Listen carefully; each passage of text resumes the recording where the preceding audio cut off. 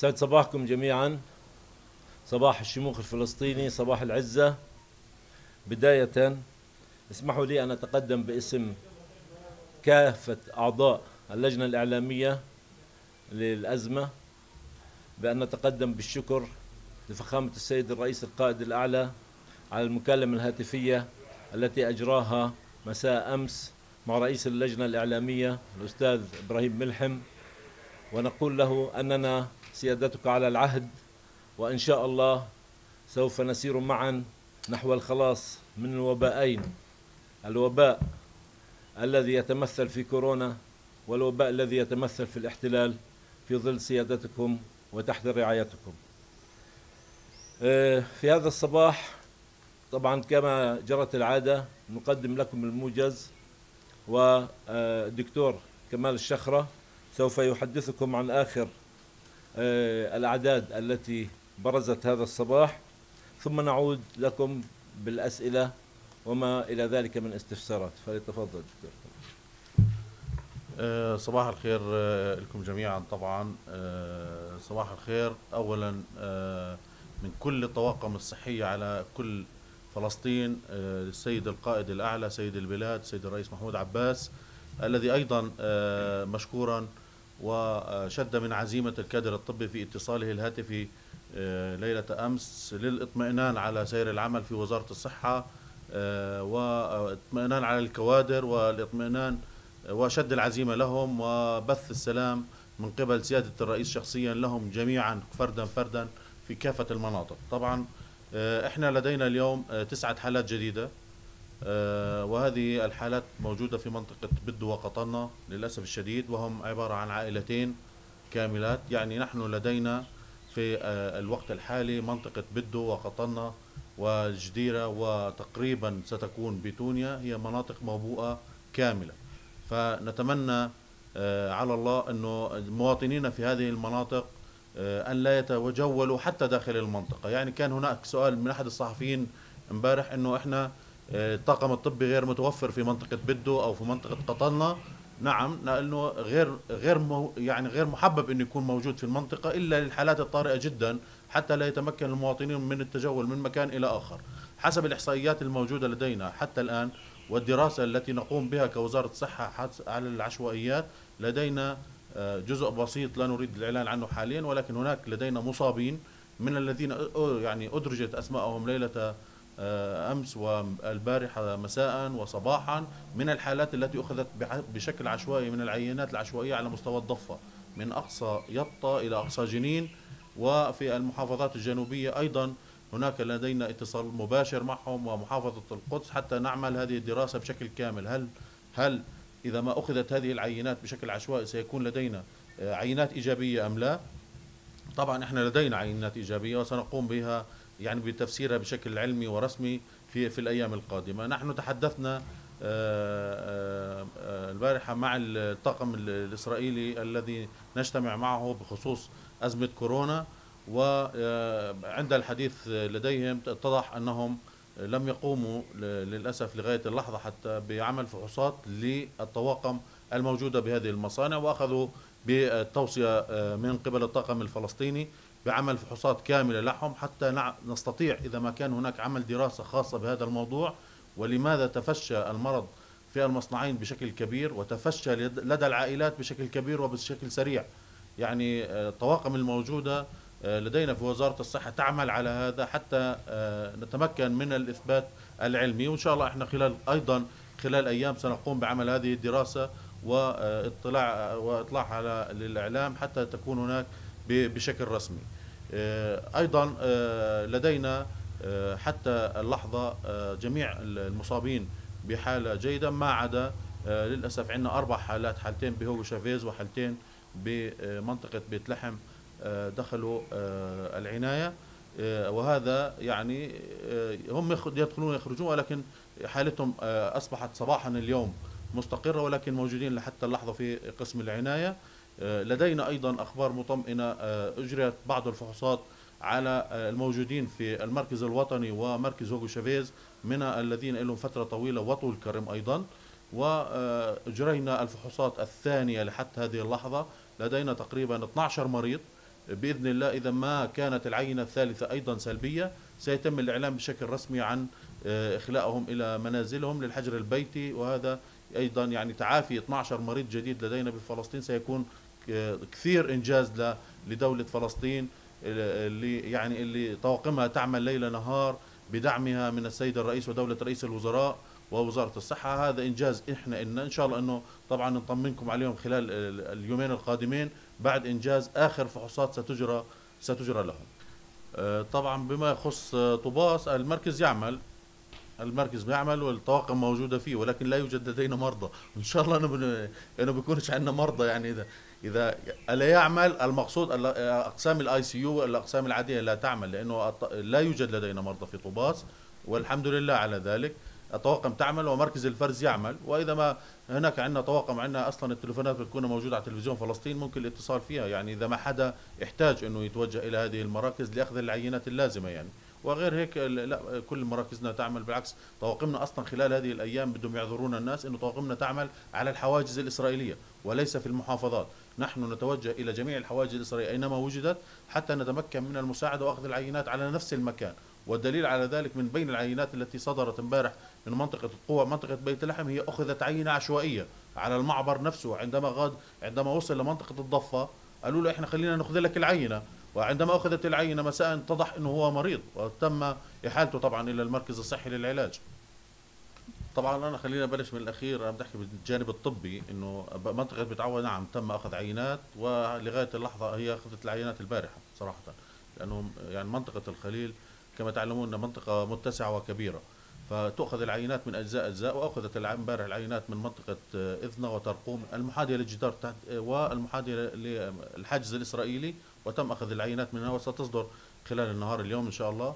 بما يخص آه، الرام آه، نحن طواقمنا موجودة طواقم موجودة لسحب العينات وليس للعلاج. طبعا الطواقم موجودة بإمكان أي واحد يصل يعني يدق على المركز بيفتحوا له بيأخذوا له العينة. إذا أجوا من برا لا يوجد علاج مسائي. يعني لا. يعني ما واحد واحد راسه بوجعه واحد آه، عنده مغص واحد هذا يروح يتوجه. لا الأفضل إنه يتوجه للمستشفى. الطواقم موجودة آه، تعمل على المعبر وتعمل على نفس الرام في مرك- مركز مسقط لأخذ العينات والمسحات لمن يلجأ إلينا أو للمرضى الموجودين الذين عادوا من داخل الخط الأخضر. بما يخص منطقة طول كرم آه، العينة لم آه، يتم فيها أي غلط ولكن أخذت آه، يعني قبل يوم وثاني يوم المريض راجع على إنه أصلا آه، يعني كان معطي آه، ال- ال- التاريخ المرضي غلط شوي. يعني خلينا نقول إحنا ما أعطى وصف صحيح وين بيشتغل مع مين خالط ابنه ابنه كان مع مين مخالط ابنه مع مين تعامل في خلال الملحمة اللي بيشتغل فيها ولكن وصل إلى الطواقم الطبيه وهذا كثير. يعني إحنا موجود أمام أغلب المستشفيات في الضفة الغربية الخيام موجودة ولكن عندما يأتي المريض غير مخالط وغير يعني إذا هو ما احكى من نفسه أنه أنا لا بالعكس ويعني منطقة برطعه أصلا هي منطقة فلسطينية داخل الجدار تخضع للحكم الإسرائيلي ولكن هي فلسطينية ومواطنيها يحمل الهوية الفلسطينية ولكن آه، نحن لا نعلم ما يحدث في في داخل الجدار.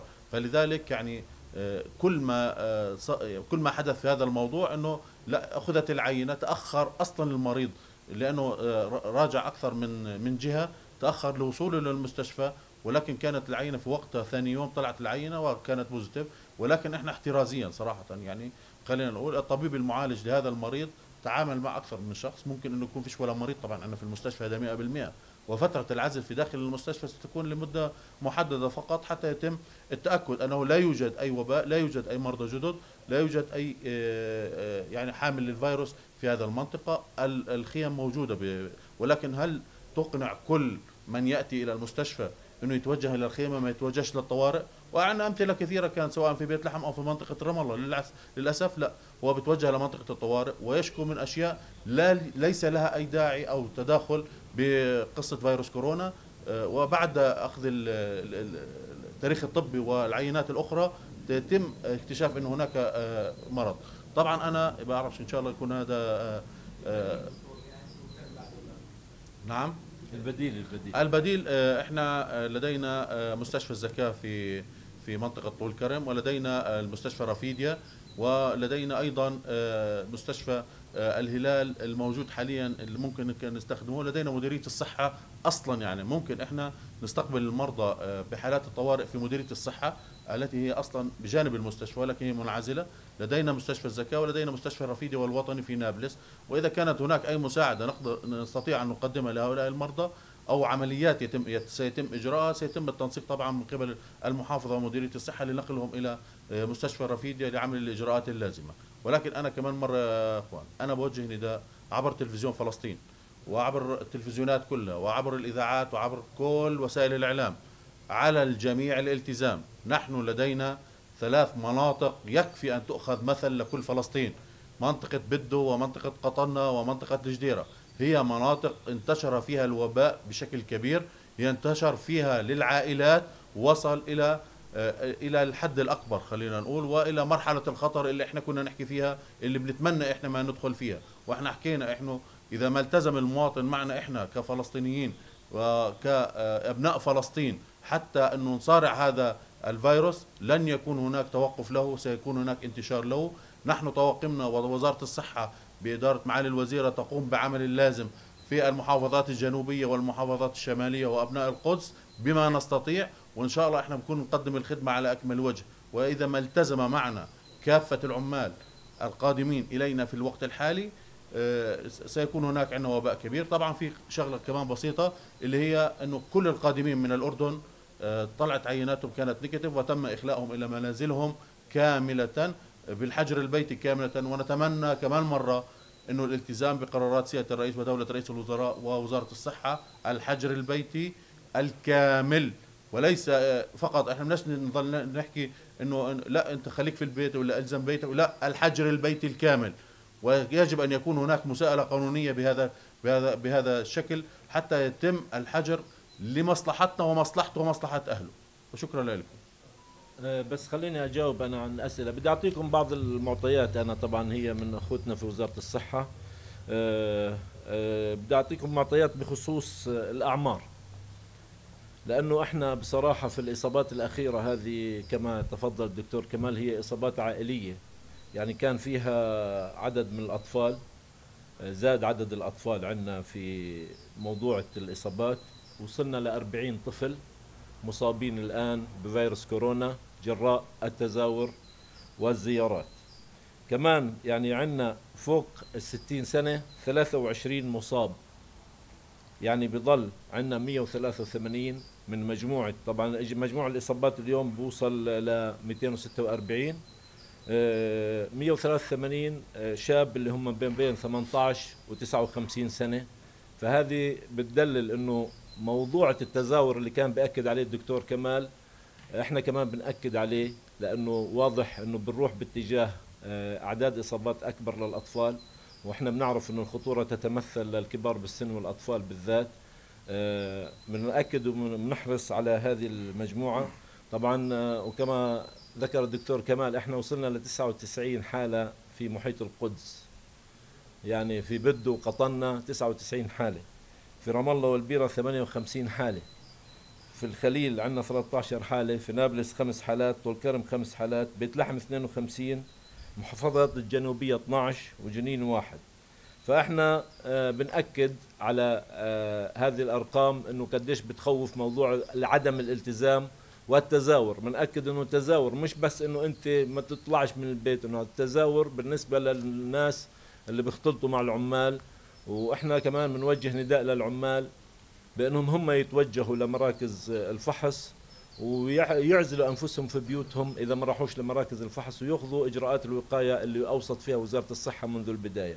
فهذا ضروري جدا وضروري أقول لكم إنه طبعا وصلني صباح اليوم من آه، المهندس آه، مازن غنيم بخصوص موضوع المياه بما إنه إحنا بدأنا في مرحلة آه، ارتفاع درجات الحرارة فهو بيطمنا جميعا على الإجراءات اللي بتقوم فيها سلطة المياه. يعني مشكورين الطاقم هناك كامل الطاقم يعمل لدى سلطة المياه من أجل توفير المياه بشكل دائم. بحاولوا يتواصلوا مع كافة الأطراف وبتفقدوا كل ال- الآبار ال- اللي موجودة عندنا ونقاط المياه حتى لا يحدث فيها خلل وكمان يقومون بالتعقيم بشكل دائم ودوري. بجاوب على سؤالك فراس إحنا طبعا في صندوق وقفة عز اللي أعلن عنه دولة رئيس الوزراء آه، راح تكون هناك إجراءات. الإجراءات هذه راح تتم أيضا بالتنسيق مع آه، وزارة التنمية الاجتماعية لأنه بتعرف وزارة التنمية الاجتماعية عندها قوائم بخصوص الأسماء والناس المحتاجين وأنا بوجه لهم تحية هون لأنهم هم جنود مجهولين بصراحة. عندهم مراكز إيواء كبيرة فيها حالات يعني آلاف الحالات وبيشتغل فيها مئات من الموظفين فبوجه لهم كمان تحية من هون. لوزاره التنمية الاجتماعية راح يكون هناك دراسات لهذا الموضوع وبناء عليه راح تتصرف الحكومة آه، بالتنسيق مع صندوق وقفه عز. بالنسبة للتاكسيات آه، ما, فهمتش سؤالك حول التاكسيات. نعم. نعم. نعم موضوع اللجان أوكي. هناك صار في تجاوزات اللجان مرجعيتها المحافظين والأجهزة الأمنية. هذه واضحة لأنه كل محافظ في منطقته هو يرأس اللجنة لجنة الطوارئ الموجودة في محافظته. لذلك فاللجان مرجعيتها أساسا القانون فيش حدا أعلى من القانون. القانون اللي أعلى من فخامة آه، السيد الرئيس القائد الأعلى بموضوع الطوارئ أي واحد بخالف حتى وإن كان من اللجان يعرض نفسه للمساءلة القانونية. وإحنا أصدرنا فيها خبر من وزارة الداخلية قلنا بأنه اللجان مرجعيتها أساسا. المحافظين بداية ليرأسوا لجان الطوارئ والمحافظين كل لديه مدراء أجهزة أمنية في محافظته ولذلك يتم التنسيق معهم من خلال الأجهزة الأمنية.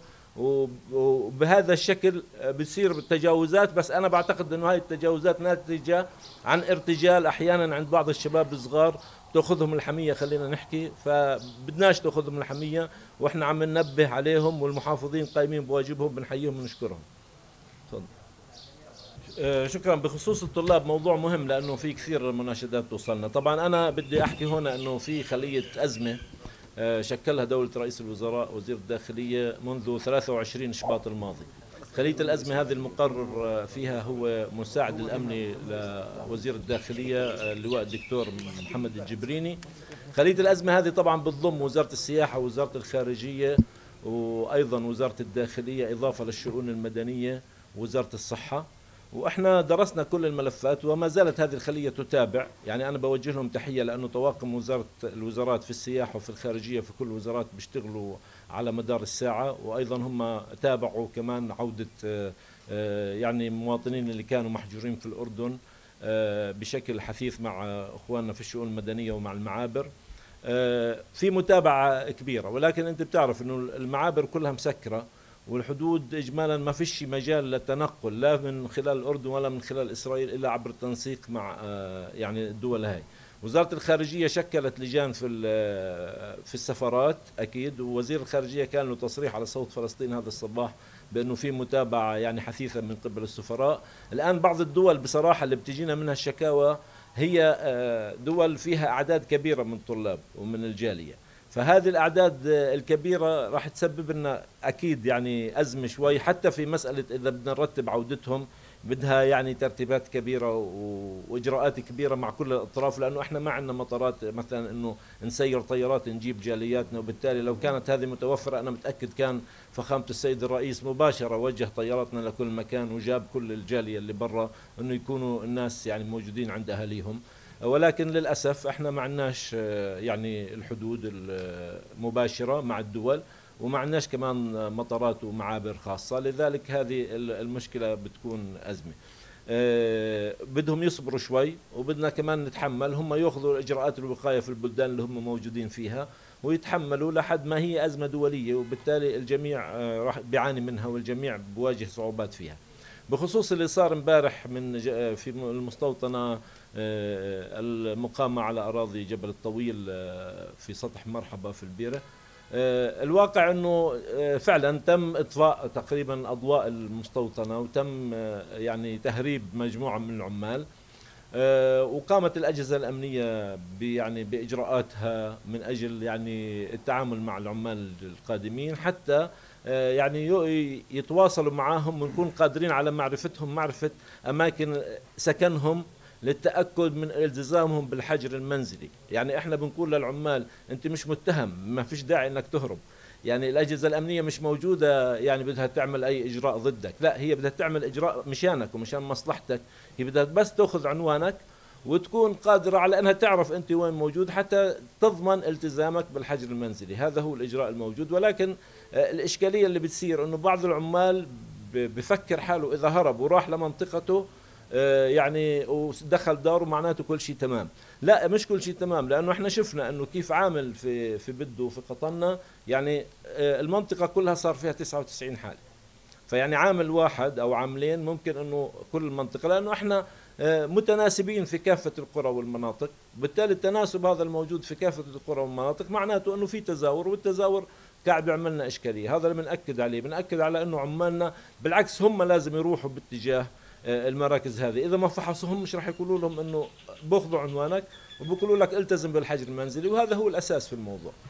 آه، أوكي شكرا. هذا سؤال مهم لأنه آه، الجميع بيسألوا فعلا إنه باتجاه إنه نروح لتقييد كامل للحركة. بدناش نستخدم مصطلح حظر التجول لأنه إحنا ضده.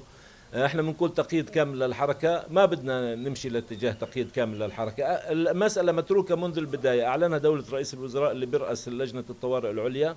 إنه آه، المسألة بيد السادة المحافظين. كل محافظ هو يرأس لجنة الطوارئ في محافظته مع مدراء الأجهزة الأمنية في تلك المحافظة وبالتالي يقرر. مثلا إحنا شفنا إنه عطوفة آه، محافظ محافظة رام الله والبيرة آه، الدكتورة ليلى غنام أمس يعني أغلقت بتونيا وقامت بدراسة كافة الإجراءات اللازمة من أجل هذا الإغلاق وقيدت الحركة في كامل بتونيا. لذلك كل محافظ حسب يعني تصاعد الأعداد وحسب الأحداث كيف بتصير هو يعني يقرر بالتنسيق طبعا مع لجنة الطوارئ العليا اللي برأسها دولة رئيس الوزراء.